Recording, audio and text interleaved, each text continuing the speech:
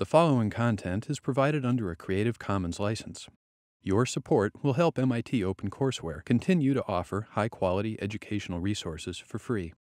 To make a donation or view additional materials from hundreds of MIT courses, visit MIT OpenCourseware at ocw.mit.edu. So the things we can talk about today, we can talk about this code. We can talk a little bit more about uh, hash functions, and we can talk a little bit more about amortization. What do you guys want to hear?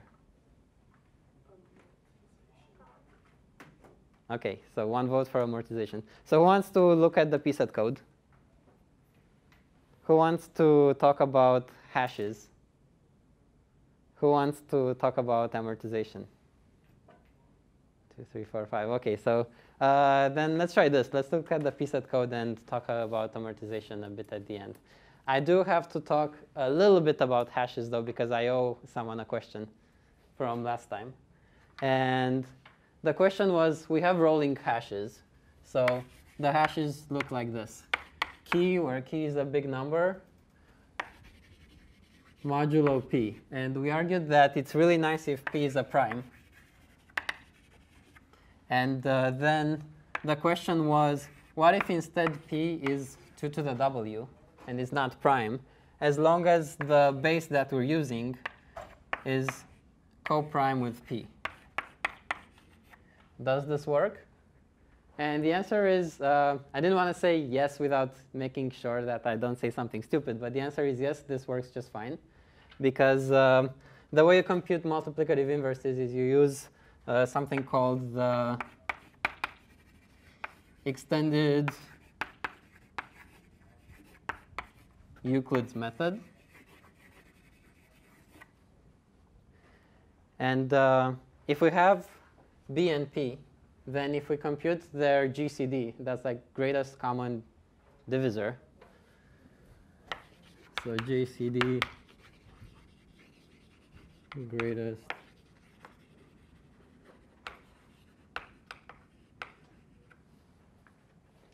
If you use extended Euclid, you get something like xb plus yp equals uh, of B and P. So if this is 1, then you have xb plus yp equals 1. And if you're working modulo p, whatever that is, then you have that xb is 1 mod p. So there's your multiplicative inverse for well, so now that's nice math, right? But that doesn't tell me why are we not using this. So the multiplicative inverse would work. But there's something else that's wrong with using uh, 2 to the w. Will, will this give me a good hash function? OK, the fact that it's p might be confusing. So let's say h equals key mod 2 to the w. And remember that the key is some digits in base b. Right? It's a big number made out of digits in base b. So k is d1, d2, d3, all the way up until d length in base b. And I'll make things easier and say that b is 2 to the 8 because we're working with ASCII characters or colors or something that fits nicely in a bit. So what could go wrong with using this? series of if your k is bigger than two if, if its k is bigger than two to the w. It will be for sure. Yeah, We- so that's, yes. that's a problem because then you'll loop. You'll get the same hashes for.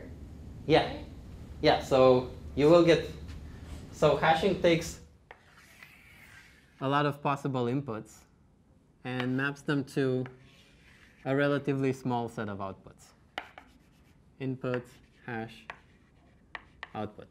And we argued last time that we're going to have collisions no matter what, because we have a ton of inputs and not that many outputs. For example, if we're hashing strings that are a million characters, then this is going to be 2 to the 8 to the 1 million possible strings. And then the number of possible values is, if we're using the word size, 2 to the 32. There's no way we can design a function that will take this many inputs, map them to this many outputs, and not do collisions. But instead, what do we want? What makes a good hash function? Is say my hash function is 0 for all the keys. Is that a good hash function? It's an excellent hash function. What's wrong with it? You would put everything in one, so then searching for it would take a long time. Yep, searching takes a long time. Uh, we don't do sorting with this. Yeah, searching takes a long time. String sub matching will take a long time. It's horrible. So you want that distributes stuff like evenly over all that. All right, so we want something that looks sort of random. Uh, the ideal hash function takes an input and gives it a random output, and then stays consistent. So when it sees an input, returns the same output.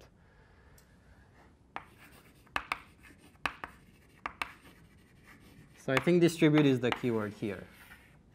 What's wrong with this hash function?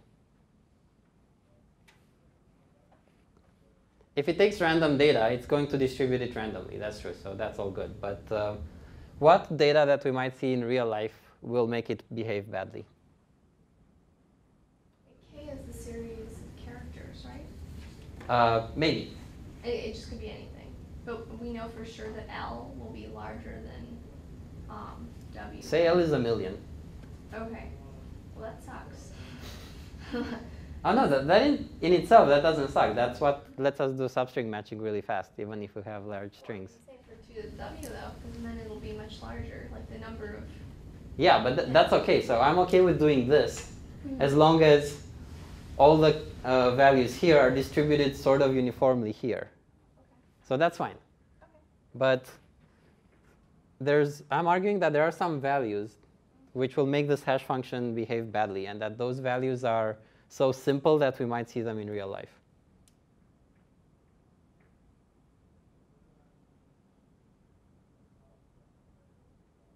Okay, what if all these numbers are, what if all the digits are even? So B0 mod 2.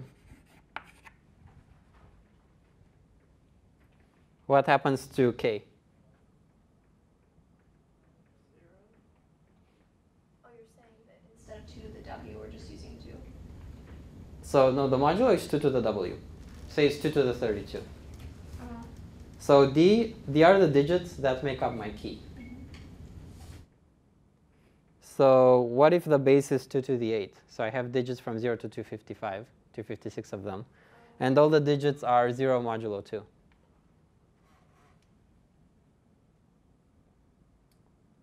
For my substring matching example, what if all the characters in the substring are even? but it's not Or mod. get hash the same thing. Not the same thing, but there's a problem. They will hash to. So if all the digits are 0 modulo 2, then what about the key?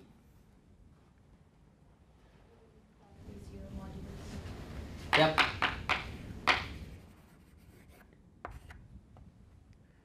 So it's just like when you have numbers in base 10. 10 happens to be divisible by 2. So if your last digit is even, then your all the entire number is even. That makes sense, right? That's math. Please not. Tell me that I'm making sense. Okay. So here the base is 256, and it's also divisible by 2. So if your last digit is divisible by 2, then the whole number is divisible by 2.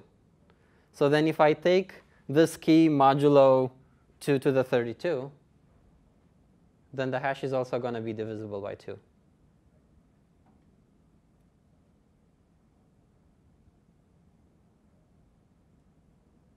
Why does it Yeah. the hash Okay. is divisible by 2? Um, so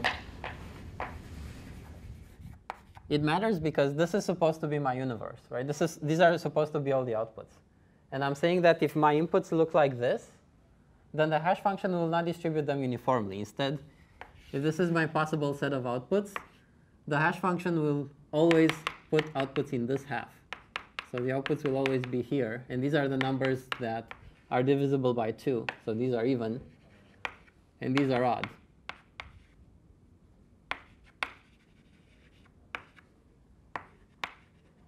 And this area gets no love. Absolutely no number will hash here. So Wait, what about something With all odd odd? digits, yeah. something with all odd digits. Yeah, say you, 'Cause s- you're you had asking- all A's rather than all B's in your substring, or in your string. Or All if just your last digit was odd. If all of your digits are odd, then your last digit is odd, and then you also get something odd, right? Yeah, Right, so when there's, there's a goes pattern, to. but there's an even distribution. Well, it, if all if your hash function is always odd, then it's not an even distribution. It's Wait, our hash function? I thought we were talking about Isn't it even if your key is even and it's odd if your key is odd? Yeah, so that's bad. Because if all your keys happen to be even, say if uh, if we're doing the nu- nucleotides, and the nucleotides are um, A, C, G, T, if they happen to be encoded as say 0, 2, 4, 6, then these are all even.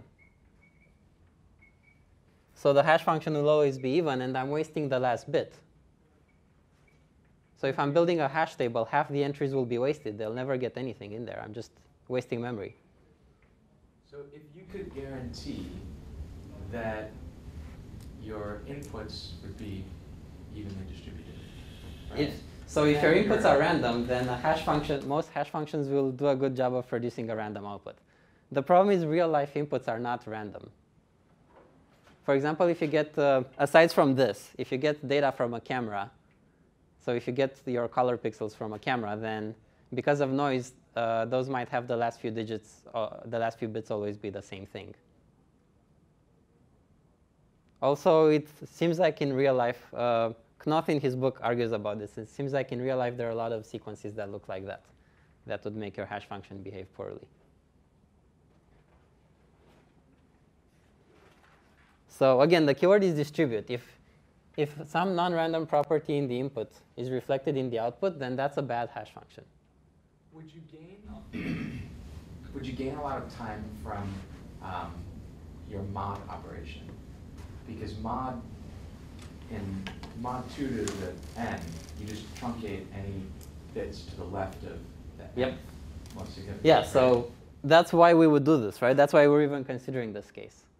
because that'd be really nice to be Yeah. able to not So modulo is faster, but in return my hash function is crappier. So usually we prefer, it turns out that in practice, nicer hash functions give better speed improvements overall. So if you think of how a cache, uh, of how a hash is laid out in memory, you'll see that because of caching and everything, it's better to take more time on the mod function and use up all your memory for the hash table. So this is why we don't use this and we use this, not because of this argument. So good question required a lot of talking and remembering what's a good hash function, what's a bad hash function. Thank you.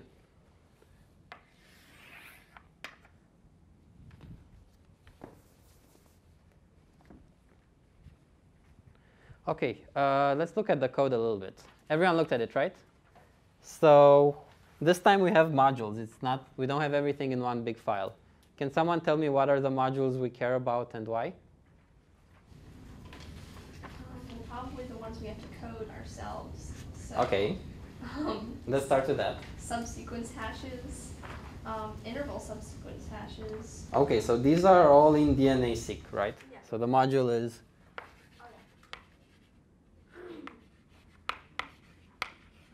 So yeah, the pset helpfully says that you need to update, uh, you need to upload this file because it's the only file you'll need to modify. So everything that we need to write is here. Now, uh, pretty much everything that's in that file needs to be modified. So I'm not going to list them out. What else do we want to read in that pset? Okay, where's rolling hash?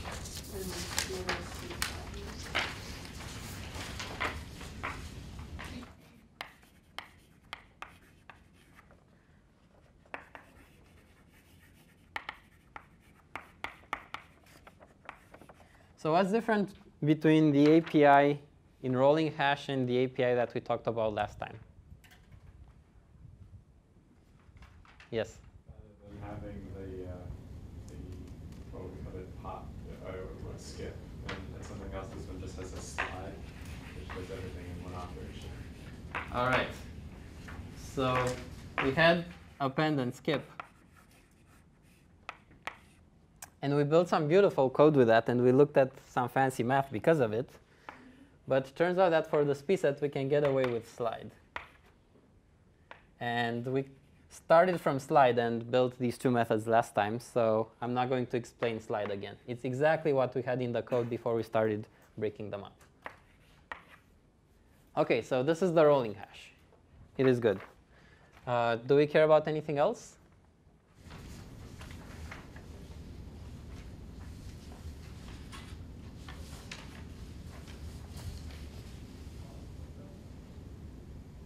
I guess you can look at the rest of the code if you feel like.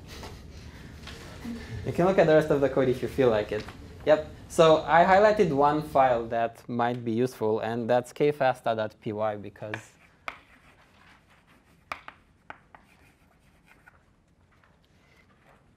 that so that uh, that file has a FASTA sequence class, and that reads from a file and returns something. And the important thing is it doesn't return a list. If you remember the docdists, docdist1 through docdist8.py, fun times, what we had there was we took the input file and we read it all in a list. This time we're not doing that. We're writing, what, 20 lines of code instead of what could be five lines of code to read the input. Why is that? Less memory. OK, so if we're doing it this way, chances are that if we tried to shove the whole input into memory, it wouldn't fit. And it would crash, and you'd get zero on the tests because of that. So that's not good. So what do we use instead? What does anyone know what this thing is called? This what this class is called? Iterator. Very good.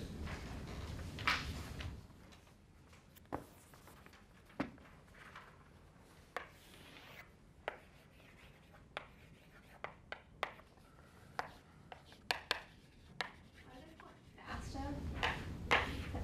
It was faster. I think uh, the letters are bio acronym. Oh, okay. Does anyone does anyone do bio here? I've seen that before. So it's a bio thing. Let's not worry about it. Okay. Well, you could use that for any type of file. Like, you don't have to use it just for bio files. Well, presumably it reads, it takes advantage of the format that they're stored in and gives you a list instead of something else. So how does an iterator work? Suppose you're building your own iterator. What do you have to implement?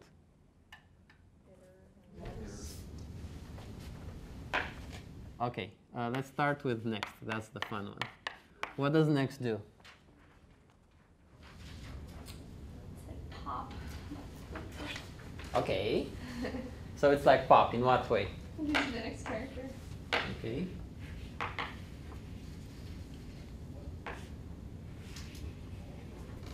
Okay. And what happens when you're at the end of the list?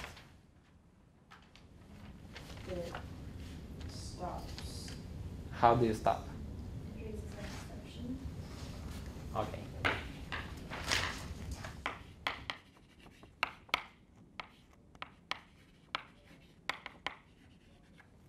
So next we'll either return an element, that's the next element in your in the sequence that you're iterating over, or it will raise a stop iteration exception error. Oh, just stop iteration. Cool. So what's the other method? Someone said it before. Say it again. Iter. What does this do in an iterator?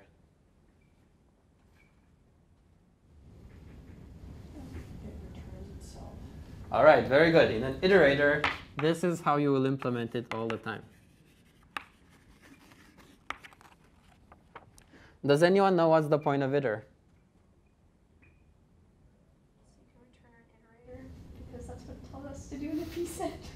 Okay, so iter returns an iterator, but it doesn't. You don't have to start from an iterator. So you can start from any object, and if it has a method iter, then it should give you an iterator that iterates over that object. So if you have something like a list, one, two, three, four, then if you call iter on this, you'll get an iterator for it, hopefully, right? And this is what Python uses when you say for i in. So behind the scenes, whatever object you give it here gets an iter call, and then that produces an iterator, and then Python calls next until uh, stop iteration happens. So you can write an iterator that almost behaves like a list. You can use it in you can use it in uh, these for each instructions, and it works as if it was a list, except it uses a lot less memory because it computes the elements. Hopefully, every time next is called, you're computing the next element that you're returning. If you're storing everything in a list and returning the elements that way, that's not a very smart iterator. OK, uh, let's look at the last page. So the last page has an iterator on top. And the iterator computes, given a list, it computes the reverse of that list. And you can see that it doesn't reverse the list and then keep the reversed list in memory. Instead, every time you call next, it figures, it does some magic with the indexes. I think the magic is called math. And then it returns something as far as long as it can. So this is how you implement reverse without producing a new list. If the original list was order say had n elements, then if you'd produce a new list, you'd consume order and memory. This thing consumes order 1 memory, and the running time is the same asymptotically. OK, any question on iterators? So it's step. It's going from the very end, oh, to the very beginning, and then stepping back. So reverse if I give it the, the list 1, 2, 3, 4, I want reverse to give it back 4, 3, 2, 1. Except it's not going to return a list. It's going to return something that I can use here. OK, yes? Is it ever possible to like sort of rewind the iterator to like sort of reset it? OK. Is it? No. Nope. So Python iterators are simple. All you can do is go forward. Okay. Uh, the reason that is good is because uh, you can use them for streams. So if you get data from a file, or if you can get data from the network, you can wrap it in an iterator. If you wanted to support resume or on data that you get from the network, you'd have to buffer all the data. So you would have to call the iter method again in order to Yep. Yeah, if you want to rewind, get another iterator. OK, that's a good question. Thank you. So these are iterators. Um, now we're going to go over some Python magic, which is called generators. So look at the iterator code, and then look at the equivalent code right below it. So 12 lines of Python turned into three lines of Python that do exactly the same thing.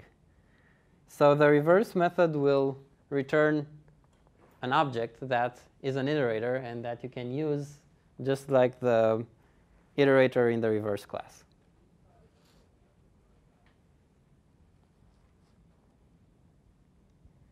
Do people understand what that code does? If you do, I'm so out of here. We're done. What does yield do? All right, that's the hard question. What does yield do?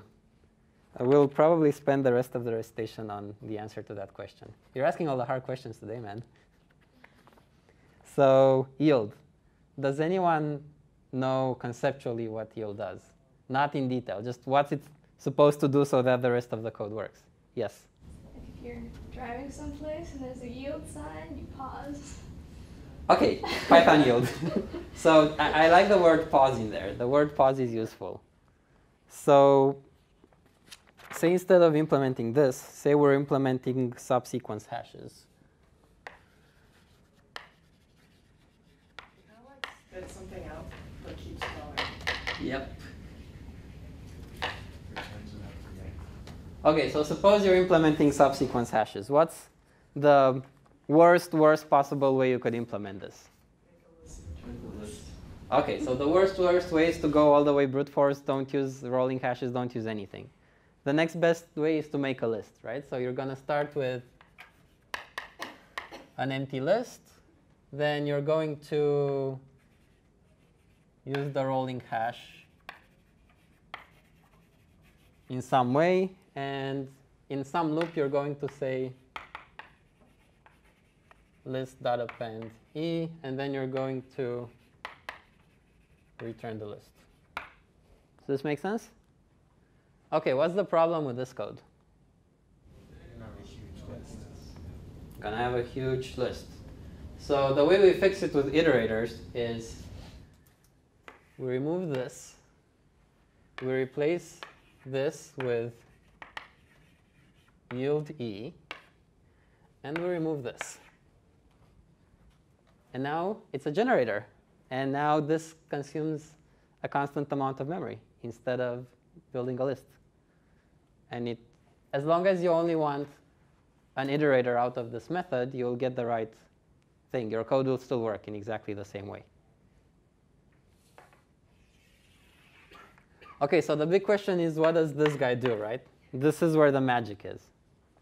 So I already said as a first hint that this guy will return an iterator. So can someone try to imagine their Python and see this? So suppose you're Python, you see this. What do you do? You wait for some sort of command of some sort, right? No, let's try something else. Okay. So the execution of this pauses. What happens? So we're, we're looping somewhere. We got the yield. We stop. What's the first thing we do? And so you're saying you return e from this guy? Figure out how is being used. So I want to return something. I want to return something else from this. So I want to use this as if it was a list. Yes? Can we store E somewhere? OK, store e somewhere. Do you return the pointer of E? Uh, almost. So there's there's a word for the object that I'm returning. So I want to use it as if it was a list. So I want to pretend that I had return list in this method, right? So what's the closest thing to a list that I can return? An iterator. An iterator, thank you. All right. So we will grab some information from here. We'll put it in a nice box. And that box will behave like an iterator. OK, so the first thing, someone said put e away, so that when we call next, we're going to spit that out. What else do I need to put away?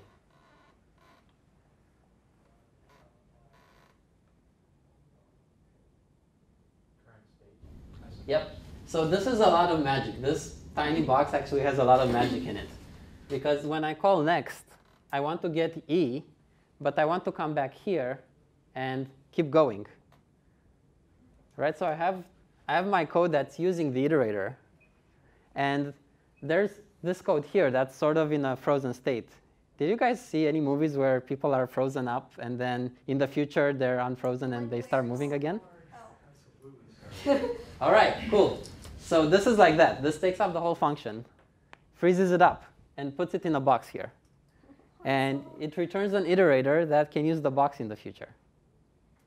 So when you call next, it gives e, which is the guy that you put in here. And then it takes the function out of the box, unfreezes it, and lets it run again until it hits yield again. Then what happens the next time it hits yield? So you're looping and you're yielding again, and say this time you're yielding. Do the same thing. Do you put it in that iterator or do you make another iterator? Same iterator. So while this is looping, the code outside should get the values that it's yielding. Right? So this has to behave as one iterator. So the code is unfrozen. It's allowed to execute until it says yield again. And then it says yield with a new element. I put this guy in the box. Then I return the old guy as the return value for next. And then it's frozen again. So this guy is still in a frozen state. In the movies, I think you're only unfrozen once and then you keep going, right? And there's a happy ending. Where here, every time you call yield, you're frozen again until someone calls next. Does this make sense? It's kind of like Groundhog Day then. Yes, except you're allowed to go forward. So, so So no, but This- it's like this keeps going forward. Up, though, so it's it's looping. It's the same day really. It's doing different things though. yeah, but all your state is uh, saved. So there, some of the state is rolled back. Okay. Here, all the state is saved. Okay. Okay, but if that analogy, if that analogy helps, keep it. when you call next, are you computing E or E prime to be returned? So when you're calling next, you're computing e prime and returning e. So the value you get from next is pre-computed. So the value you get from next is what you yielded before. Wait, so you would just take subsequence hashes, make an instance of that, and then just by putting in yield, now it's magically become an iterator, and you can call that next on it. Yep. And inside, you don't have to know that it's an iterator. So you don't have a method next here, right? I don't implement next or iter here. I write this as if it's printing stuff to the output. Right? You can think of yield as a print. If you wanted an iterator, then pretend you're printing what you want to iterate over, and instead of saying print, you say yield, and then you use that. Okay, now what happens when we're done? What happens when this loop is done and you return from this method? We said there's no return value. It raises a stop. So when we return, it's going to keep in, to remember that it's done, right? And the first time it has, it has some element here that it has to return. Right, so every time you call yield, we put a new element in the box and we return the old one. So now we would return the old one. We'd return e prime, take it out, and put done in the box. So in the future, if next is called again, raise stop iteration. No more freezing unfreezing because we're done. We returned. So if you called next, it would just give you nothing. It, it has to raise this exception. Yeah.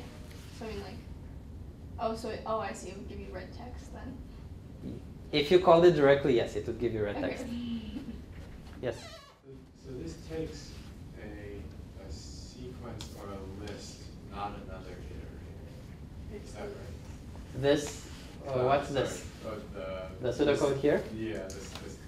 Not necessarily. procedure. Or you could, you could give it a procedure. I can give it an iterator if I'm iterating over it using for in. Like for something in an iterator, yield that something, and then it's like, Okay. Yeah, that's a good point. I'll, we'll, I'll get to that uh, later uh, when we talk about how we're going to solve the p-set. No, we're not solving the p-set for you. But we'll talk about it a little bit. But yeah, that's a good point. So there's no reason why you can't have an argument here that either a list or an iterator, and then you're iterating over it. And then you have nested generators. So you have generators returned in other generators, and you have a whole chain of things happening when you say next. Wait, so this is a generator then because it produces an, either it, well, it is an iterator though. So a generator returns an iterator from this method. So a generator acts like an iterator, except when you call next, it unfreezes this code here, and it lets it run. But I mean, it's basically an iterator then. Yeah. But we're just calling it a generator because. Because there's a lot more magic. Okay. So an iterator just says next and iter. This is all that an iterator is, nothing more. Mm-hmm. Any object that has these two methods is an iterator. Now a generator is a Python is a piece of Python magic that lets you write shorter iterators. So three lines as opposed to 13 lines. And we came up with a way to turn in a code that would build a list and easily turn it into a code that uh, uses a generator and that uses constant memory instead of building that list. Exactly. Okay, the generators make sense now? Yes. Uh, if you wanted to loop through all of the values in the generator, you just to wait until the exception's raised, or should you like keep track of how many things are gonna be in that generator? So when you have a generator, you have no idea how many things there are. That's a good point. So you're wondering if I have, if I have an iterator, say any iterator, not necessarily a generator, how do I know how many things it's going to return, right? Do I have len? I do not have len. So an iterator does not have len. So you have to iterate through it. And uh, most importantly, some iterators can never return. So you can have an iterator that streams data for you across the network.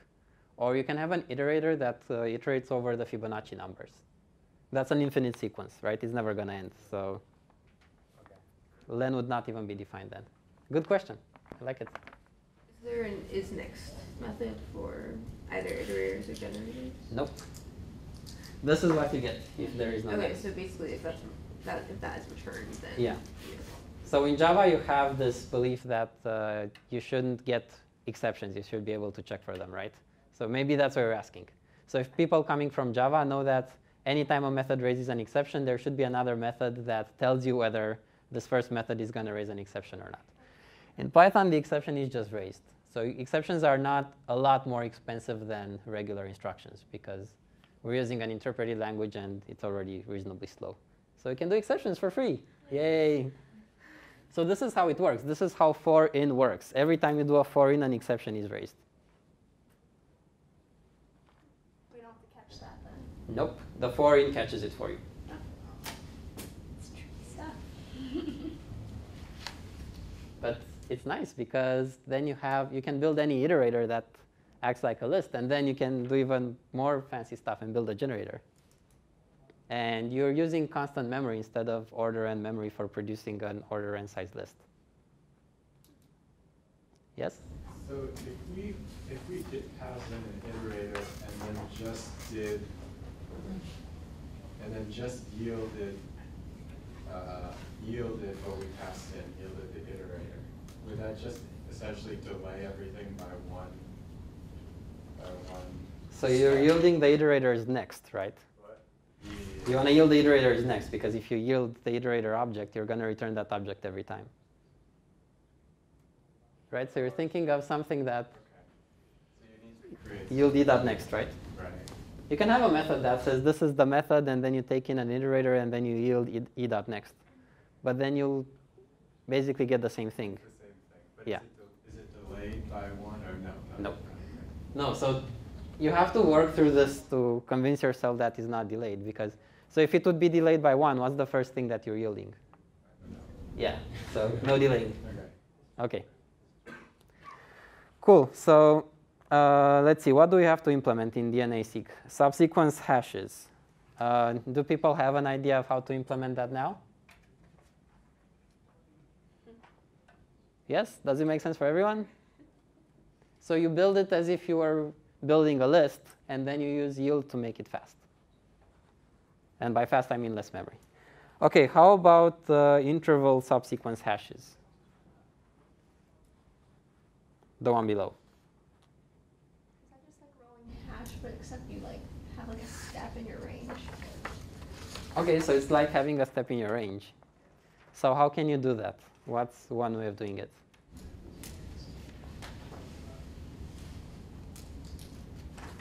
Like for your hashes.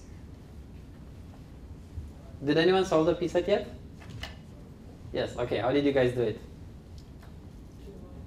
Wait, no. That, that's a that's a bad question because it, you guys can answer too much. So, interval subsequence hashes versus subsequence hashes. Did you copy paste the code? Absolutely. Okay. Uh, so one way of doing it is copy pasting the code. The problem if you copy paste the code is then you're not dry. There's this engineering thing. Dry means do not repeat yourself. So if you're not dry, if you copy paste, then suppose you find a bug later. Suppose you run the big test and it crashes somewhere and you fix a bug in uh, subsequence hashes. Oh, we're supposed to like call subsequence hashes from interval subsequence hashes, right? That's another way of doing it that is dry. So this way you're not copy pasting the code. We're inlining code, is that, is that You're inlining it manually, right? Optimizing. All right. So the problem if you do this on a large scale, like when you go work somewhere, is that you end up with 20 copies of the same code, and then five of them have bug fixes and the other 15 don't because people forgot where they are. So ideally, try to keep your code right.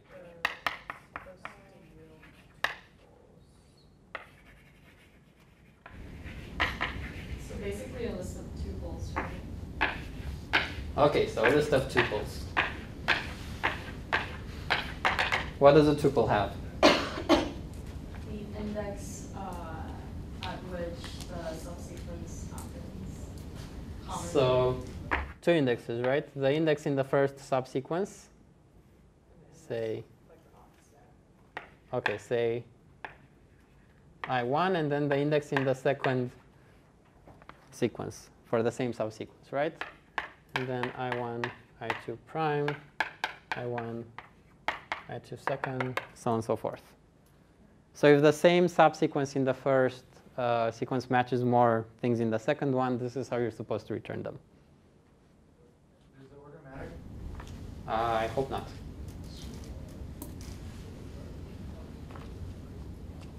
Okay, any questions on this? Wow, we went through generators fast. You guys are smart. Yes? Can you explain how the imaging works? Like how they create the image from our tuples? No. Sorry. I do not know. Like, so we yield the tuples, but I don't really get how they come up with the image from it. From the tuples? Oh, well, I mean, I guess they're, they're probably values. Yeah, because I thought if you compared two s- uh, strings of DNA that, that are the exact same, I thought it would be like a diagonal line down, and not just a small black box. Okay. So I think I'm understanding how they like image it. So you are supposed to get your image has some things here, and the match is going to give you a big diagonal line that's stronger than everything else, right? It's really thin though. But the, and there's that. Well, I don't have thin chalk. No, no, there's like one really dark black box that's like really black. So I thought that meant that all the tuples are in there and everything else is just kind of gray. Uh, good question. I will have to Like, think about is that. that black box just supposed to be there? Is it like a notation thing or? I think that black box is supposed to be there. Did anyone try comparing two things that shouldn't match, like the dog and the monkey? Yeah. It was, and the entire thing was like dark. And Yeah. against like two same DNAs, everything was very light and there was like a very, very light gray line. But I thought that would be like black. So I think how black it is means relative to all the subsequences, how long it is, how long the subsequence you're reporting is. Either that or how many. There's a function somewhere in there that computes the intensity of a pixel, and that's square root of order 4 of something. Okay. I mean, I can look at that now and tell you. It's okay. It's not super important. Or we can talk about amortized analysis for a bit. Yay! Let's talk about amortized analysis.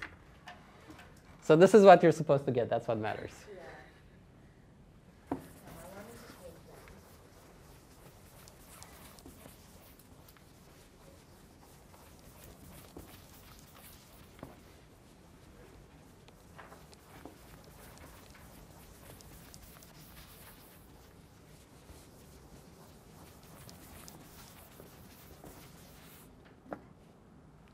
Okay, so amortized analysis. What's the example that we talked about in class? It's like list expansion. Okay, so you have you have a list, and we know that the list is stored as an array, right? So this means that you can do indexing in constant time. So if you want to get the first element, order one. If you want to get the millionth element, order 1. This is not true if you had a linked list instead. The millionth element would be order a million. So this is an array. What, um, what do we implement? What's the operation that we implement on this list?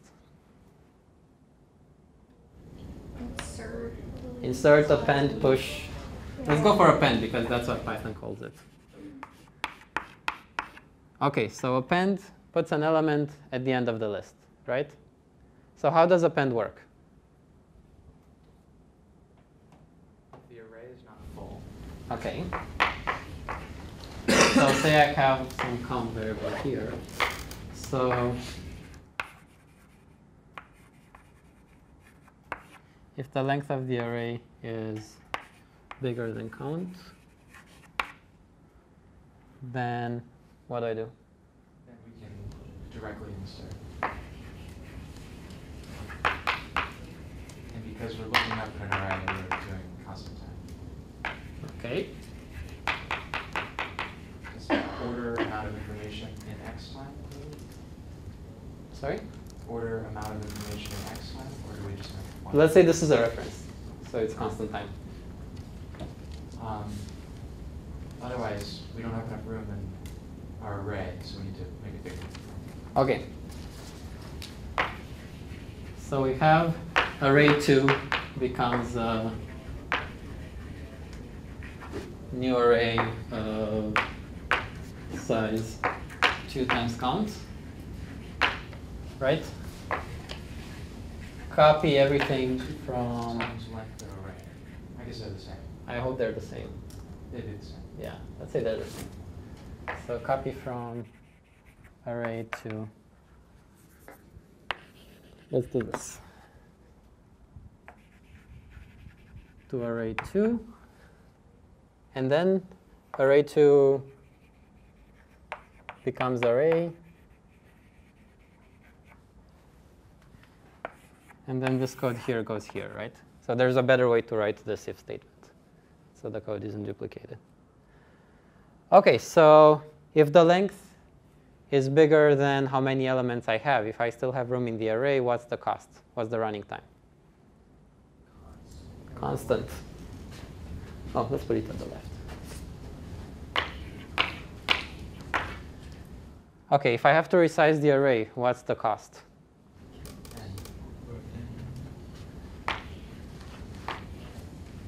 So if I did n operations, what's n, right? n is the size of the array. If the only operation I have is append, then I can say n operations will cause the array to grow to size n. So n where n is the number of operations, right?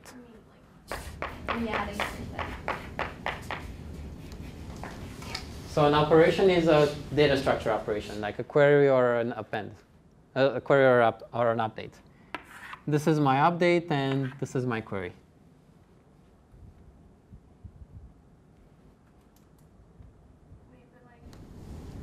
It's it's order n though because Yeah. you have, I know it's order n, but because you have like an array and then you have to make a new one and then you have to move all those old items over, right? Yep.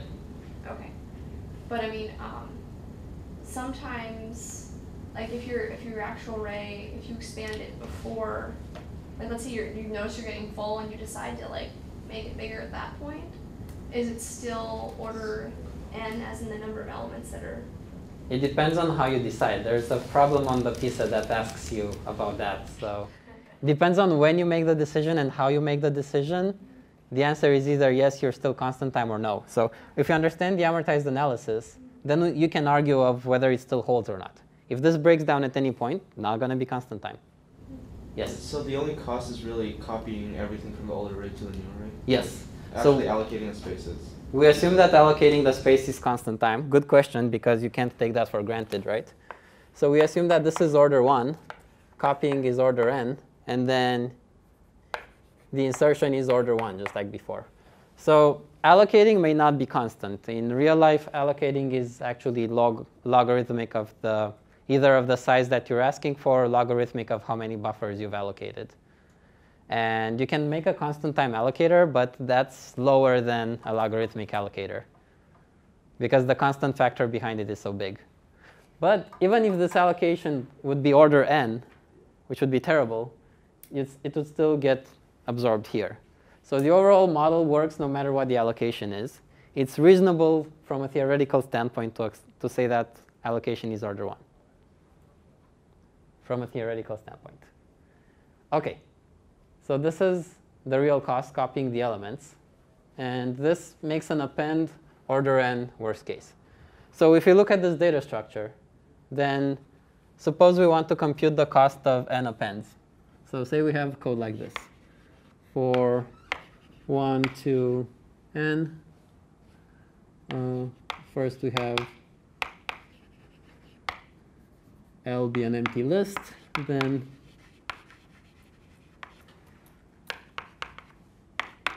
we want to compute the cost of this. So if we do it without amortized analysis, line by line analysis, just like we taught, just like we learned in the first lecture, what's the cost of this?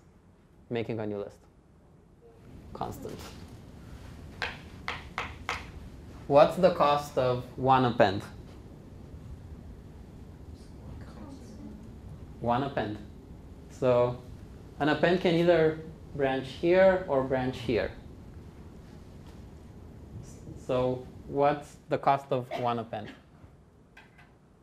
you're starting with an empty list. It depends. So, so worst case, but we have to look at the worst case. So this is line by line analysis. We're going to get Oh, one number for this. Oh, And Then Yep. Okay, that's- And So in the worst case, the list will be full.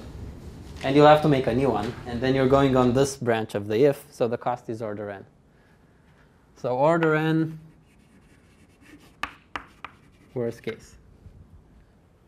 So the cost of one call is order n worst case. How many calls do we make? Okay. So what's the total cost of this thing? it's not. Yes, it's not actually n squared, but if we do line by line analysis, before we learn amortized analysis, all we can say it's order of n squared. And this is correct. It's not bigger than n squared, right? So O is correct. But it's not a tight bound. So if we had a multiple choice and you selected this, you wouldn't get the score because we usually ask you what's the tightest bound that you can get. Okay, so line by line analysis, we worked through that a lot in docdist. Doesn't work all the time. When it doesn't work, we tell you to use amortized analysis instead. So what's the goal of amortized analysis? What do we want? You guys are all yelling at me that this is not n squared. Why? I mean, not why, what? What is it instead? What do we want from amortized analysis?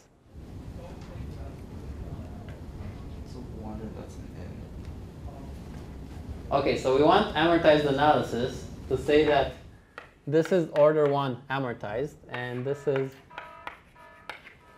Am I out of time? Yeah. okay, so. so there's a difference between worst case and amortized, right? We can argue that this is order one amortized. And if this is order 1 amortized, then this is order n amortized. So does the difference between worst case and amortized make sense now? So this is what I want. The rest is fancy math. If you forget the fancy math after you're done with this class, that's OK. If you remember that this is order 1 amortized and that's order n amortized, that's good. That's all you need to know to write code if you don't design algorithms. So this is an important piece of knowledge on its own. Okay, so questions about the difference between worst case and amortized? Okay, what does amortized mean? Yep, averaged out over multiple operations. So instead of doing line by line analysis, we have to look at what happens over multiple operations, right? Okay, so there are two methods that I think are useful in CLRS. Uh, there are three in total, but the last one is horribly complicated. So there's something called aggregate analysis. And there's something called uh, cost-based accounting. So last time when we looked at the costs for append, we argued that, hey, uh, it's order one for a lot of times, and then it's only order n when uh, for an operation that's a power of 2. So if we're looking at the kth append, then this is order k for k equals 2 to the i, and it's order 1 otherwise.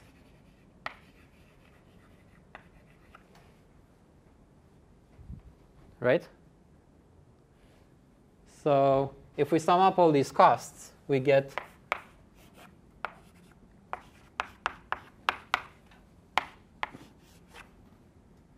plus sum over log n of O of 2 to the i.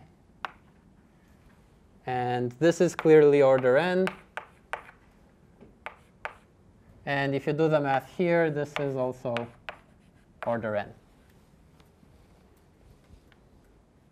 So this is aggregate analysis. This is what we taught you in lecture. Does this make sense? So the key here is that whenever we're increasing the array, we're increasing it to two times. And we start with the size of 1, right? Count is 1. We start with an array with one element. So the size of the array will first be 1, then 2, then 4, then 8, then 16, 32, 64, 128, so on and so forth. It increases exponentially. So on the first append, I'll have to do a resize. On the second one, resize. Fourth one, resize. Eighth, resize, so on and so forth. So if I'm adding up the costs for n operations, each operation is order 1, and then because I'm inserting everywhere, and then all these operations are all order n. But there's few of them. They're few and far out. So if you write the sum this way and you do the math, you get that it's order n. So aggregate analysis says look at n operations and add the costs up together. And last time we had that cute example of walking over a tree and in order traversal where we drew arrows across edges. So that's aggregate analysis. And then you should look at the cost method in CLRS because that's also useful sometimes. Does this help? Any questions? No, everyone wants to go home. Wait, Almost. log n. So you're starting from log n going to. So I'm starting from 1 going to log n. Oh, Very surely. So oh, wait, bottom rank is actually your top rank? So this is fancy math for saying only add up powers of 2. Oh, So that's what I'm trying to say, add these guys up. well, that's your step size. Yeah. Oh, okay. Oh, I like that. Okay. Okay.